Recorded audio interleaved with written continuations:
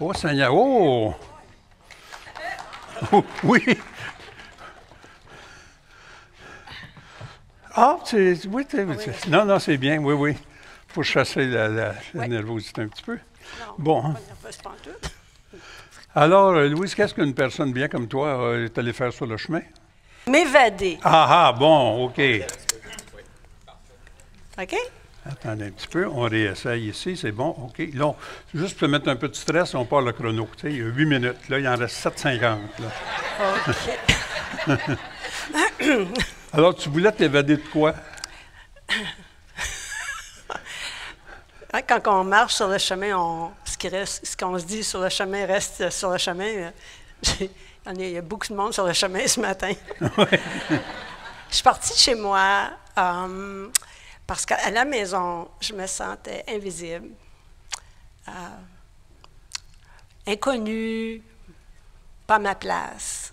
Puis là, je me suis dit, bien, sur le chemin, je vais pouvoir me sentir inconnue, pas à ma place, mais à travers des étrangers. Donc, je vais être bien, là, je vais être tranquille. Alors, c'est comme ça que j'ai voulu juste marcher sans réfléchir trop, trop. Mais ça n'a pas marché. Parce que le premier jour, euh, je descendue de l'autobus avec deux belles Québécoises et un Suisse. Alors, c'est présenté, OK. Puis, cette journée-là, une d'elles dit ben moi, je pars demain. Ben, je ne la connais pas. Je dis ben tu ne peux pas partir demain. Il fait, c'est beau ici, il faut que tu, visites. Donc, on a passé la journée ensemble. C'était très bien. Sauf que moi, je pensais partir le lendemain toute seule, tranquille. On est parti quatre. C'était bien. Et à, à Montbonnet, quand on a quitté Montbonnet le matin, on est parti sept. OK. Alors là, il était confronté que ça ne marche pas mon affaire. un, j'aurais pu les quitter, mais j'avais le goût. J'avais le goût, je sentais qu'il y avait quelque chose qu'il fallait que je fasse. Alors, tranquillement, pas vite, pendant deux semaines, j'ai marché avec ces gens-là. Une journée avec une, une journée avec l'autre. Tranquillement, pas vite, c'est comme, OK, c'est qui, moi, dans tout ça? C'est comme il fallait que je me découvre.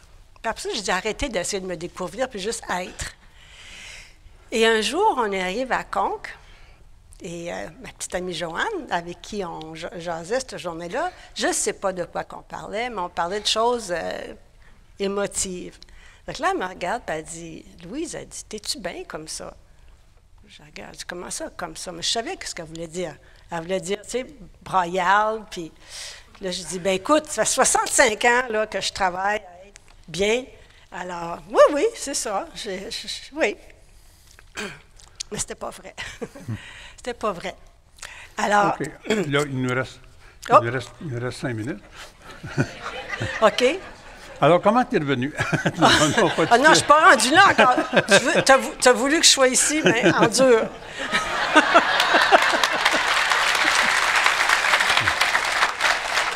C'est le fun quand tu étais invisible. hein? bon, enfin. OK, regarde pas là. Alors, non. Alors, mais ça m'a beaucoup fait réfléchir. Puis tout le long du voyage. Puis quand je suis arrivée à la maison, je me suis dit, bon, là, c'est faut apprendre à contrôler. Parce que moi, des fois, les ambulances, passais, puis je me mettais à pleurer parce que je savais qu'il y avait quelqu'un à l'intérieur qui pouvait souffrir. Puis à un moment donné, ça vient, ça gruge. Alors, à un moment donné, il y a quelqu'un qui me parle, puis là, je sentais les émotions. Je dis, donne-moi un instant.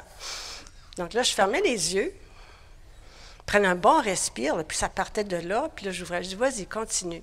Tranquillement, pas vite, j'étais capable de, de contrôler mes émotions, puis en même temps, apprendre à me connaître. Alors, quand j'ai revu S- Joanne l'an- l'année suivante, parce que Sonia nous avait invités, parce qu'on a resté, euh, on a resté ensemble, les trois, on s'est gardé, on a gardé contact. On a passé trois jours, puis juste avant de partir, elle me dit, Louise, j'aimerais ça te poser une question. Elle dit, est-ce que je t'ai fait de la peine quand je t'ai demandé la question? Elle n'était pas obligée de dire la question, je m'en souvenais. Alors, j'ai dit oui. J'ai dit, quand tu m'as demandé ça, je me suis sentie euh, incomprise, je me suis sentie comme si j'étais pas correcte. Mais j'ai dit, je peux pas jamais te remercier assez de m'avoir posé cette question-là parce que ça m'a permis de grandir puis d'accepter, de m'accepter telle que j'étais, mais de célébrer aussi en même temps qui je suis. Puis, euh, donc, ça finit pas là parce que j'ai marché ensuite. Ah ben oui, parce qu'on a encore un gros euh, trois minutes. Ah, là. my God. Piece of cake. On a du Pan temps. comido, comme dirait. On a du temps de OK. Alors là, ensuite, j'ai fait le Camino Frances deux ans plus tard. Et là, je voulais vraiment faire un pèlerinage. Je m'étais préparée comme les pèlerins. Et puis, pas parler à trop de monde, mais pas pour les, mê- les mêmes raisons. Vraiment juste pour m'intérioriser. Puis ça a quand même été bien. Je me suis joint à des gens. Puis quand je voyais que ça fait plusieurs jours qu'on était ensemble, là, je les laissais partir. Mais à un moment donné, j'ai rencontré un couple que j'avais comme une attirance. Hein, des fois, il y a des gens qui ont dit Ah, mais ça, j'aimerais ça appre- apprendre cette connaître-là, apprendre à connaître cette personne-là. Et c'était un couple, un couple d'anglophones, puis je voyais qu'ils ne parlaient pas beaucoup aux gens parce que, à cause de la langue. Alors, je me, je suis présentée, on a marché un peu ensemble, et ça a donné que Bruce était un pasteur d'église à Oregon. Donc, on, elle, là, elle, là, j'étais dans mon élément. Je pouvais parler de ça tant que je voulais. Puis, euh, avant, qu- quand on s'est quitté à Léon, il m'a pris par les épaules puis il dit Louise, tu m'as aidé à grandir dans ma foi. Oh, là. Oh! Là, c'est comme là, je me remplissais. Là. Tu sais, j'étais partie invisible. Là. Et puis là, je vais terminer en disant que c'est sur le chemin l'an passé qui a été, je pense, mon. tu sais, un, un autre gros cadeau. J'ai rencontré un jeune homme avec qui l'histoire est trop longue à raconter, là, parce que je pense que tu as d'autres personnes. Deux tu- minutes encore. Alors, j'ai rencontré un jeune homme euh, à Santiago, à un souper. Puis, je l'ai trouvé super sympathique. Mais tu sais, on rencontre des gens, après c'est fini. là, je marchais pour Vermouchia. Mais la troisième journée, euh, il arrive en boitant. Euh, puis là, je le regarde, puis je l'ai reconnu. Je dis Hé, viens t'asseoir. Puis je dis Qu'est-ce qui se passe? Je suis fatiguée. Je dis Écoute, va prendre ta douche, donne-moi ton linge, je vais aller faire ton lavage, puis tu vas pouvoir souper. Puis là, il me regarde. Je dis Ouais, donne-moi ça.